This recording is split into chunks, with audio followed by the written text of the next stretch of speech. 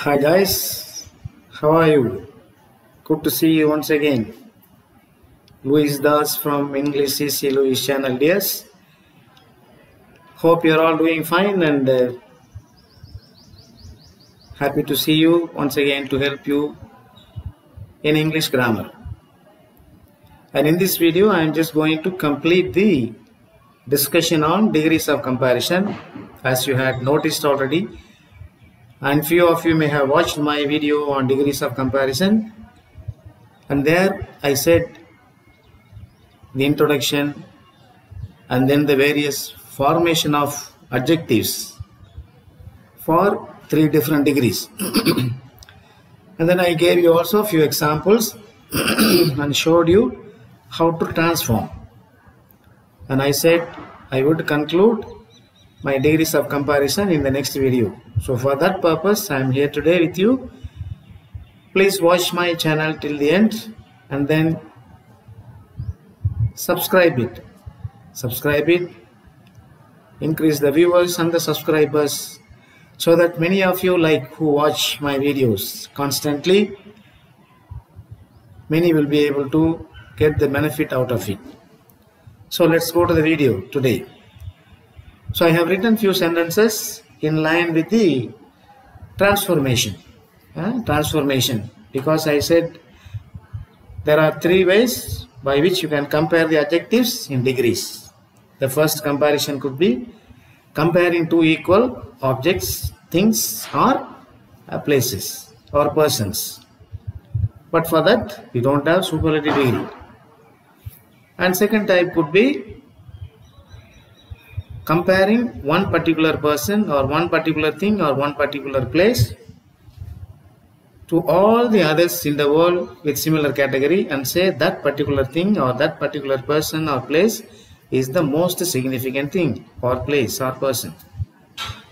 And the third comparison could be third comparison could be comparing one particular thing, one particular place or one particular person with a few others having similar type of qualities or characteristics or nature. And say that this is this particular thing or person or place is one of the significant things. So that is another way of comparing. So these are the three different ways we can compare adjectives in english. So i had already given two or three examples in my previous video so in this video, I am just here to help you to understand few more examples. So with this we complete. So let's go to the example straight away. See, I have written three different sentences having three different types. And uh, I am going to change it with the help of your thinking in mind. Your thinking in mind and we are going to do it together. We are going to do it together and see how far we can succeed in answering the question. Alright? Okay come. Now, the first sentence I have written here is very few birds are as beautiful as peacocks. Very few birds are as beautiful as peacocks. Now, what is the degree here? This is positive degree. This is positive degree. How can you decide? Because you have the the formation as beautiful as as adjective as. So beautiful is the adjective here and to write this positive degree, formation of positive degree for this particular adjective as beautiful as. So what are we doing actually here? We are comparing peacocks with other birds which are or that are as beautiful as peacocks. So this is positive degree. Alright? So this is positive. This is positive. Now, how are we going to write comparative degree for this? You remember I told you certain clues. Certain clues. When you come across the word in positive degree like very few, how would you begin your uh, comparative degree? See, peacocks. See, peacocks. Since it is plural, you have to have the plural verb. So peacocks are adjective is plural. So therefore, what you are saying? More beautiful. So peacocks are more beautiful than. Okay. So this is the formation. More beautiful than comparative formation. Adjective. More beautiful than. Then what did I say? You remember? Many other or most other. Okay. Many other or most other. Most other what? Birds. See, birds is the noun there and it becomes the object. So this is the comparison, comparative degree. Uh, this is the format, uh, more comparative than. Okay, so this is the keyword here. Many other or most other birds. Now we have written the positive and this is your comparative. Since I don't have space, I just write as C, comparative. Then what is the superlative degree for this sentence? So whenever you have very few and many other most other, what is the starting word for the superlative?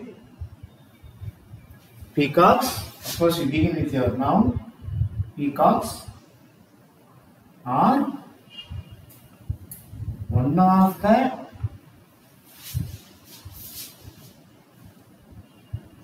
most beautiful birds. Okay, peacocks are one of the most beautiful birds. here I am using peacocks as plural. That's why I am using the verb are there. So here, of course, you have the superlative formative adjective. The plus the superlative format for the adjective. Peacocks are one of the most beautiful birds. So that is the comparative this is your superlative. This is your superlative. Clear? Now, so this is one model. Come to the next one. Come to the next one. See? And this is another type. What is this one here? No other game is as fast as football. No other game is as fast as football. So you can easily understand how this is positive degree. This is positive degree. Okay, so this is your positive degree. Fast is your adjective. Okay, this is as fast as adjective. Now, what is your comparative degree for this one here when you have the word no other? How would you begin the comparative degree? of course, you have to begin with your noun, subject. Football. Football is faster than. Faster than, what is the clue word I gave you? Remember? Faster than any other. Any other game. Okay? Football is faster than any other game. See? This is your comparative portion. Any other is your clue word. See? And this is your comparative.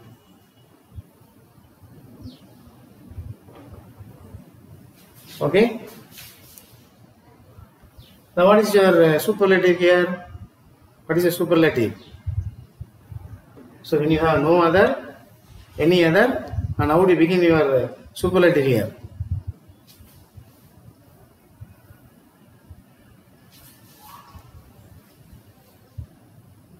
How do you begin with? See, football is the football is faster than any other game.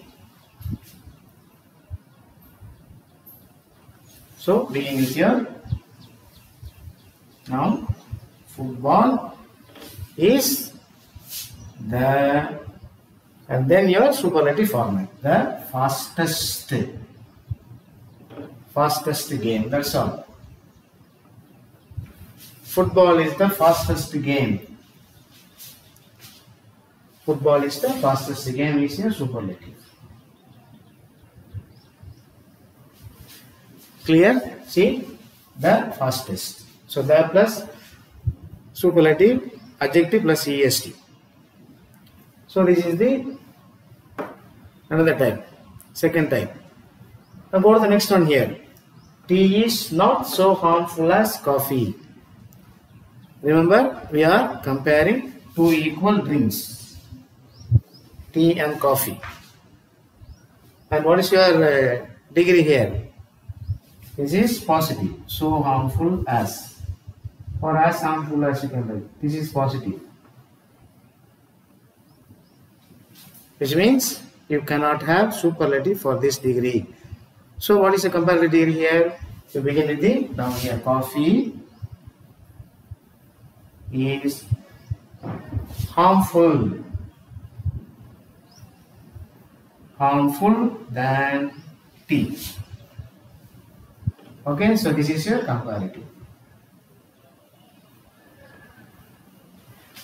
Clear? This is your comparative. How do you feel now, guys? Easy, no? Very easy, no? Very easy, simple. Go through the examples. So this is how we must be able to identify and write as many sentences as possible so that we can become clearer and clearer in our day-to-day life. When we write sentences not only degrees of comparison for that matter in any grammar in any grammar practice makes a person perfect. Okay? So unless we do this constantly seeking seeking identifying searching so no one is nothing is going to be easy. So therefore these are the three models. We can have more and more examples. We can have more and more examples. And i can give you more and more examples. There are a lot of sentences are there. Of course you can refer to you can refer to many other many other resources browsers you can just go through and write find out sentences from various degrees and try to change it now let me say one uh, let me say one example in all the three types orally see how far we can transform see i have written i have written here three sentences here the first one is May is hotter than April. Okay, May is hotter than April. What are we doing now? This is the comparison of two equal things. So we are comparing the month of April and May. So certainly you cannot have superlative. So how are you going to write positive here because this is comparative degree. May is hotter than April. So how would you write positive? April is not so hot as May. April is not so hot as May. Positive. See, first time. Let me see another sentence here. The Nile is the longest river in the world. Nile, you know the river, no? The Nile, why do you use definite article there? Because there is no other river called Nile. So therefore we use definite article. The Nile is the longest river in the world. So we have added est to the adjective and what is the degree here? Superlative. The Nile is the longest river in the world.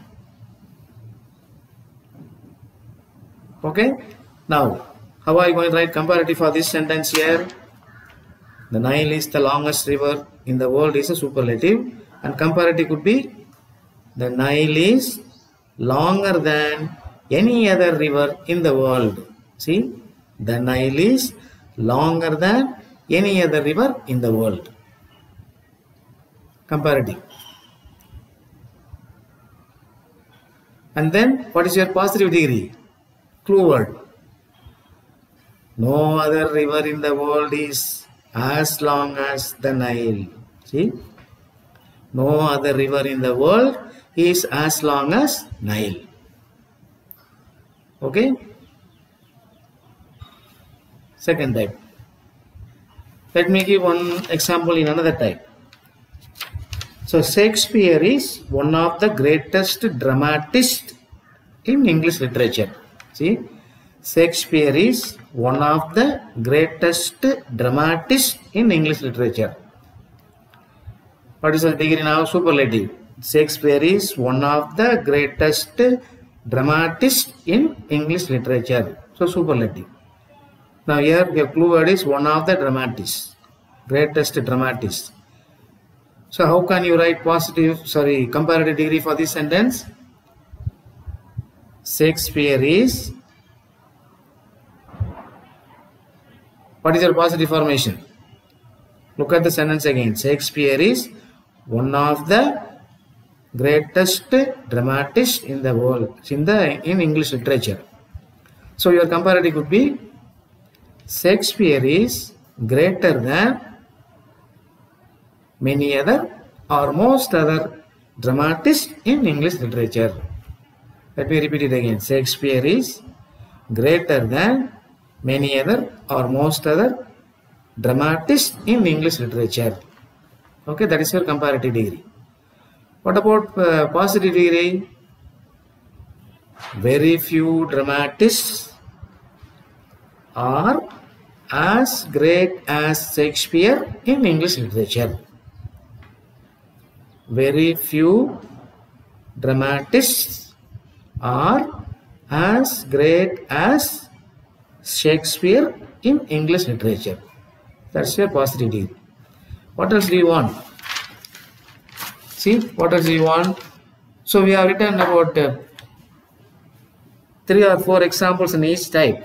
So very simple guys and viewers, wherever you are, whatever you are doing, watch these kind of videos till the end and then try to analyze within yourself. Within yourselves. If you are watching it alone, try to read more and more videos like this, watch videos like this and then enrich yourself in English grammar. Enrich yourself in English grammar. As I have told you already, this is kind of a homely atmosphere tuition like. I'm just helping you because I'm just writing sentences on the board and teaching you as if I am teaching in the classrooms in schools. And this could be of more lively and simple and simple. Whenever you feel free, you can just zoom it and watch if the sentences are not visible what I have written on the whiteboard here. So guys, this is it. So let's complete uh, the degrees of comparison with this discussion and information.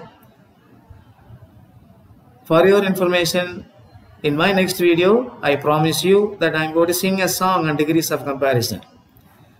I'm going to sing a song and I have formulated and I have composed a song in degrees of comparison and I will sing it for you and play through the harmonium as well as through the keyboard. Let's enjoy the English literature and writing grammar more and more and become more and more efficient uses of grammar in English. Guys, so see you. God bless you. See you in the next video. Thank you.